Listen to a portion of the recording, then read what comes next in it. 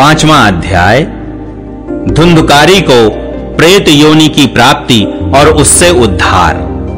सूत जी कहते हैं, शौनक जी, पिता के वन चले जाने पर एक दिन धुंधकारी ने अपनी माता को बहुत पीटा और कहा, बता, धन कहाँ रखा है?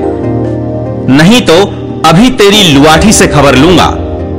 उसकी इस धमकी से डरकर और पुत्र के उपद्रवों से दुखी होकर वह रात्रि के समय कुएँ में जा गिरी और इसी से उसकी मृत्यु हो गई। योगनिष्ठ गोकर्ण जी तीर्थ यात्रा के लिए निकल गए। उन्हें इन घटनाओं से कोई सुख या दुख नहीं होता था, क्योंकि उनका न कोई मित्र था, न शत्रु। धुंधुकारी पाँच वेश्याओं के साथ घर में रहने लगा। उनके लिए भोग सामग्री जुटाने की चिंता ने उसकी बुद्धि नष्ट कर दी और वह नाना प्रकार के अत्यंत क्रूर कर्म करने लगा।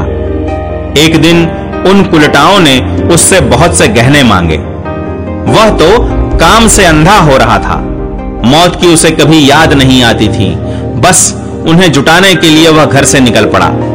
वह जहाँ तहां से बहुत सा धन चुराकर घर लौट आया तथा उन्हें कुछ सुंदर वस्त्र और आभूषण लाकर दिए। चोरी का बहुत माल देखकर रात्रि के समय स्त्रियों ने विचार किया कि यह नित्य ही चोरी करता है, इसलिए इसे किसी दिन अवश्य राजा पकड़ लेगा। राजा यह सारा धन छीनकर इसे निश्चय ही प्राण दंड जब एक दिन इसे मरना ही है, तब हम ही धन की रक्षा के लिए गुप्त रूप से इसको क्यों न मार डालें? इसे मारकर हम इसका माल मत्ता लेकर जहाँ कहीं चली जाएँगी। ऐसा निश्चय कर उन्होंने सोए हुए धुंधुकारी को रस्सियों से कस दिया और उसके गले में फांसी लगाकर उसे मारने का प्रयत्न किया। इससे जब वह जल्दी न मरा तो उन्हें बड़ी चिंता हुई। तब उन्होंने उसके मुख पर बहुत से दहकते अंगारे डाले। इससे वह अग्नि की लपटों से बहुत छटपटा कर मर गया। उन्होंने उसके शरीर को एक गड्ढे में डालकर गाड़ दिया। सच है स्त्रियाँ प्रायः बड़ी दुस्साहसी होती हैं। उनके इस कृत्य का किसी को भी पता न चला। लोगों के पूछने पर कह देती थी कि हमारे प्रियतम पैसे के लोभ से अब की बार कहीं दूर चले गए हैं। इसी वर्ष के अंदर लौट आएँगे।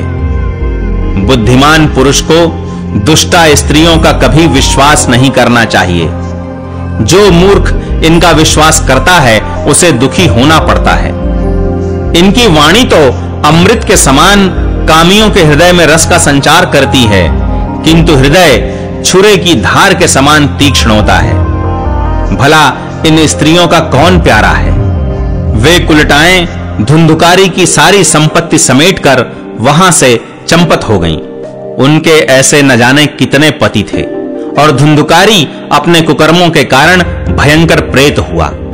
वह बवंडर के रूप में सर्वदा दसों दिशाओं में भटकता रहता था तथा शीत धाम से संतप्त और भूख प्यास से व्याकुल होने के कारण हा दैव हा दैव चिल्लाता रहता था।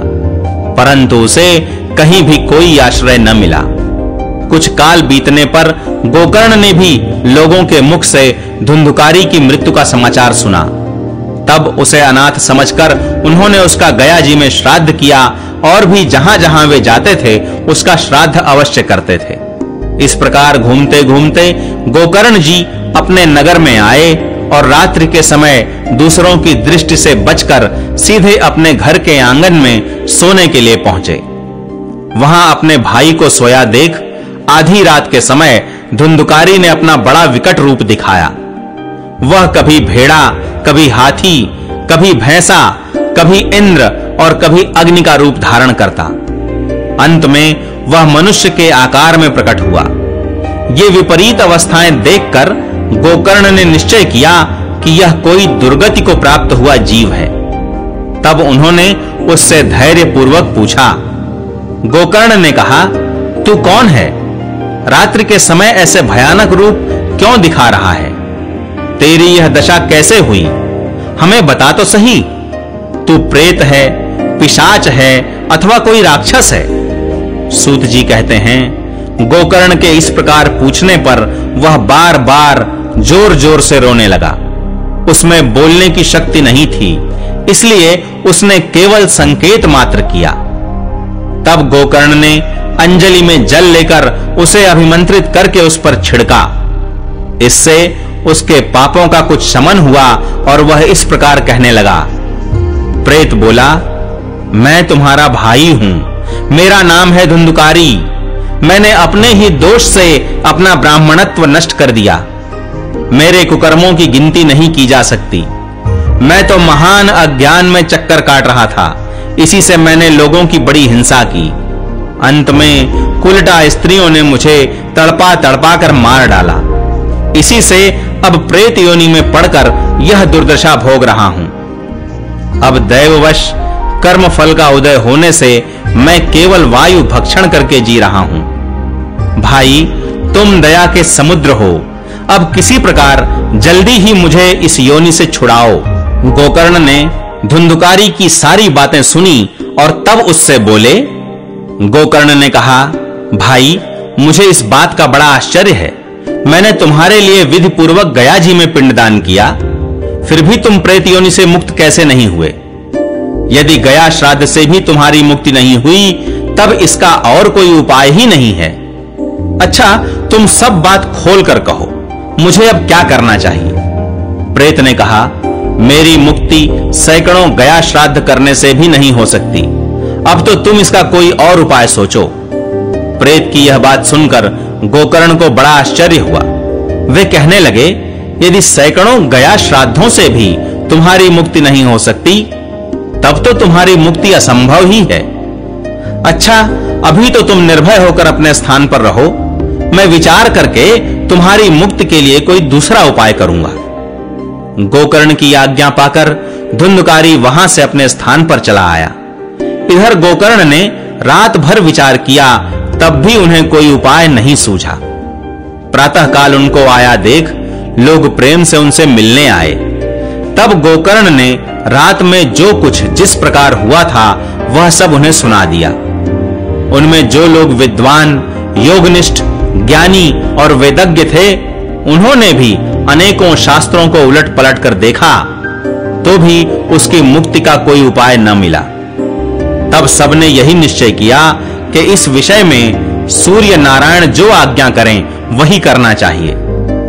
अतः गोकर्ण ने अपने तपोबल से सूर्य की गति को रोक दिया।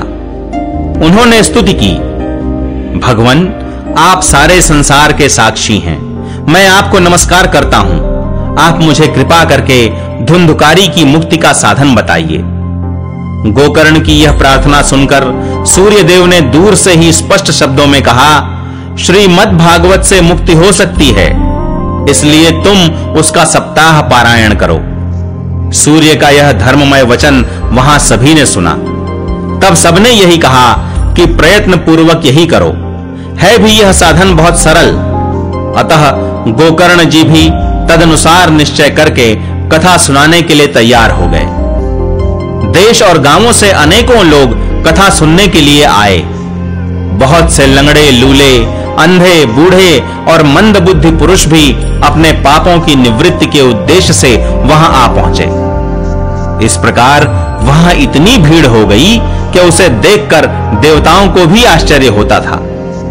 जब गोकर्ण जी व्यास गद्दी पर बैठकर कथा कहने लगे, तब वह प्रेत भी वहाँ आ पहुँचा और इधर उधर बैठने के लिए स्थान ढूँढने लगा।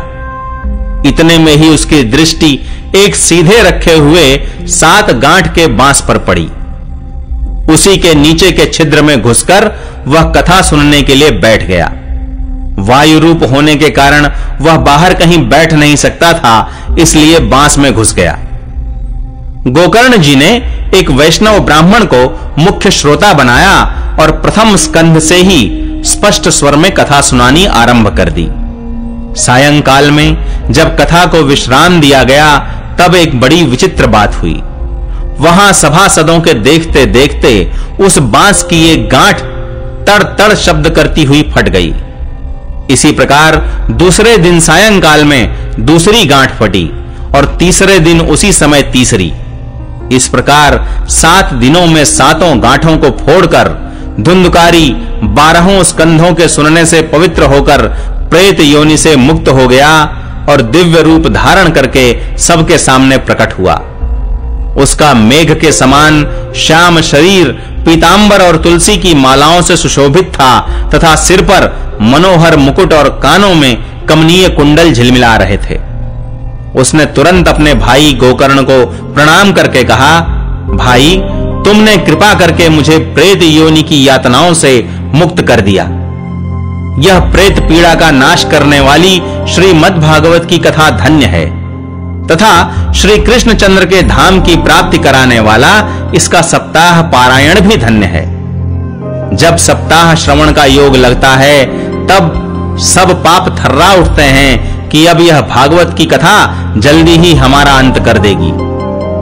जिस प्रकार आग, गीली, सूखी, छोटी, बड़ी, सब तरह की लकड़ियों को जला डालती है, उसी प्रकार यह सप्ताह श्रवण, मन, वचन और कर्म द्वारा किए हुए नए, पुराने, छोटे, बड़े सभी प्रकार के पापों को भस्म कर देता है।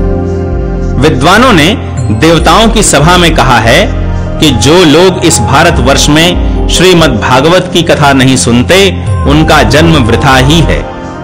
भला मोह पूर्वक लालन पालन करके यदि इस अनित्य शरीर को हृष्ट पुष्ट और बलवान भी बना लिया तो भी श्रीमद् भागवत की कथा सुने बिना इससे क्या लाभ हुआ?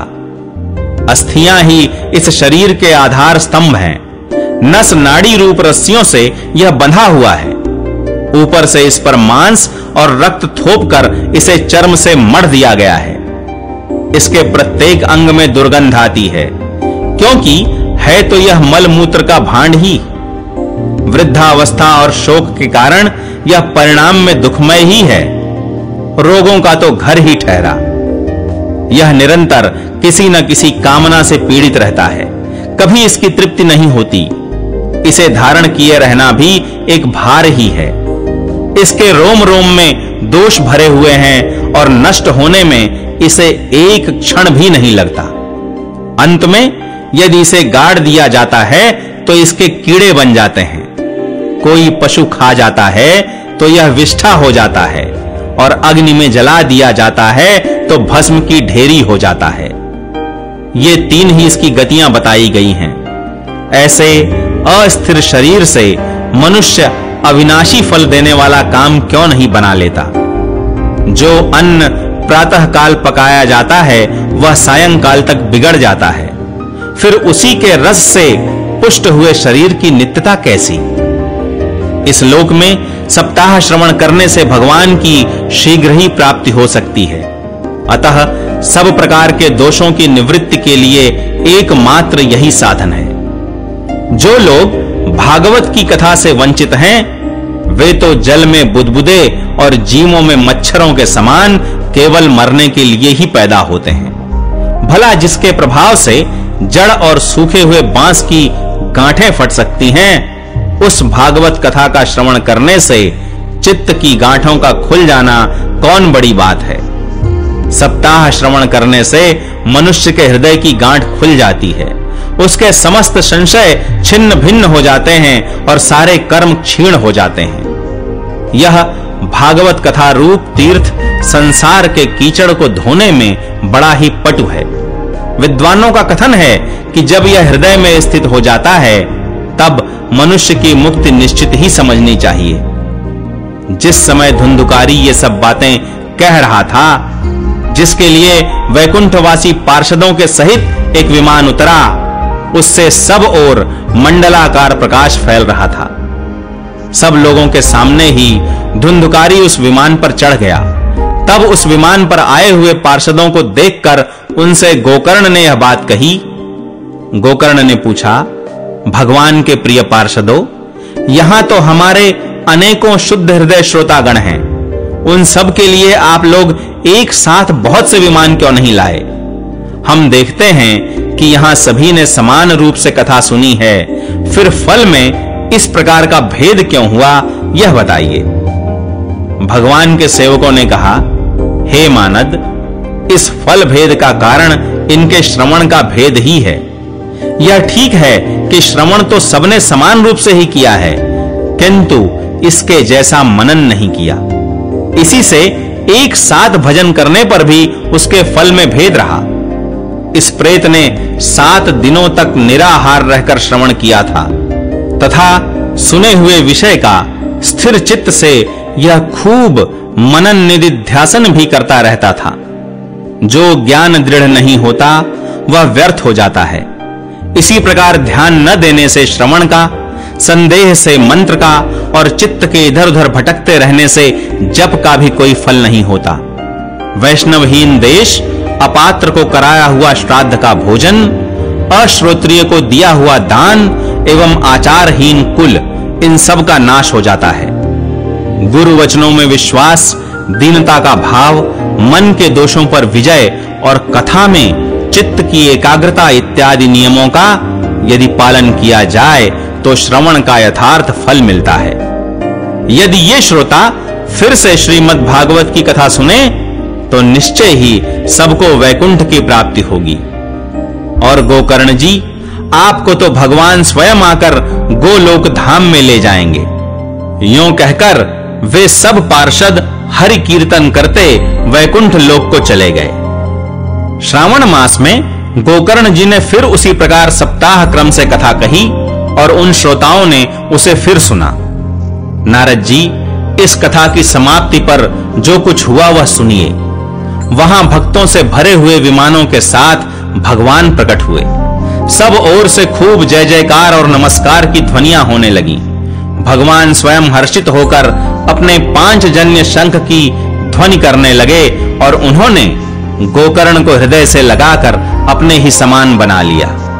उन्होंने क्षण भर में ही अन्य सब श्रोताओं को भी मेघ के समान श्याम वर्ण रेशमी पीतांबरधारी तथा किरीट और कुंडलादि से विभूषित कर दिया।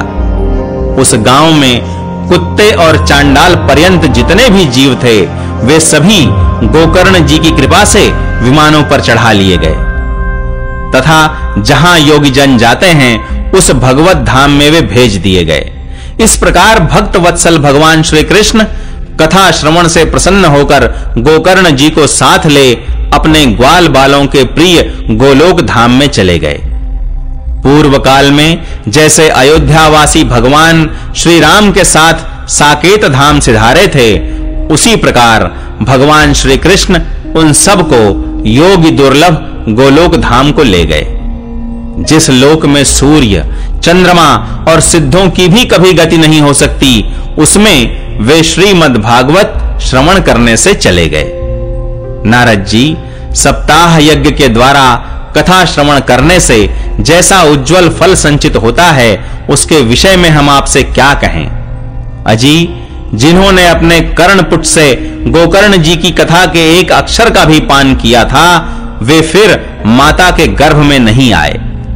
जिस गति को लोग वायु, जल या पत्ते खाकर शरीर सुखाने से, बहुत काल तक घोर तपस्या करने से और योगाभ्यास से भी नहीं पा सकते, उसे वे सप्ताह श्रवण से सहज में ही प्राप्त कर लेते हैं।